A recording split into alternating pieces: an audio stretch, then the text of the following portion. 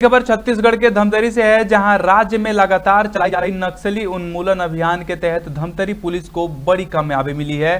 बता दें कि पाँच लाख के दो इनामी नक्सलियों ने सीता नदी एरिया कमेटी में आत्मसमर्पण किया।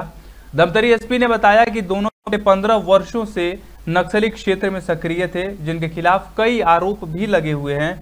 बहरहाल, धमतरी के बीते तीन दिन में तीन नक्सलियों ने आत्मसमर्पण किया है, यह पुलिस के लिए बेहतर प्रदर्शन माना जा सकता है। वहीं प्रदेश में लगातार नक्सलियों का आत्मसमर्पण जारी है। वहाँ जो बताए वहाँ बताने के बाद वो बताने के यहाँ का दमतर ज़िले को बर्नू नाम का है, और जो पार्टी का जो एक रेनू नाम का है, वो आंध्र का रहने वाला है। उन लोगों को मेरे को ले बच्चा करना ये सिखा शेर साइड।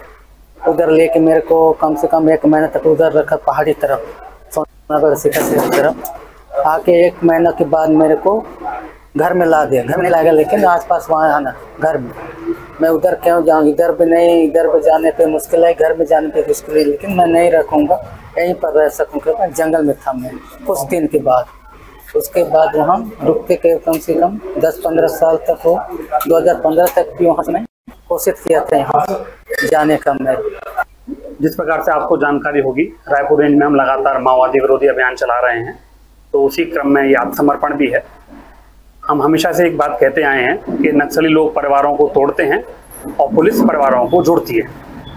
तो उसी क्रम में शासन की जो पुनर्वास और आत्मसमर्पण नीति है, उसके तहत आज हम दो नक्सलियों का आज आत्मसमर्पण ले रहे हैं। इसमें प्रथम टिकेश है, जो कि कावरी गाँव का रहने वाला है, धमतरी ज़िले का ही। दूसरी प्रमिला है, ये शोभा थाना क्षेत्र की रहने वाली है, गरियाबंद की। ये दोनों लोग अभी सात सात दिन लोगों ने सरेंडर किया है। दोनों पर पाँच पाँच लाख रुपए का इनाम घोषित है।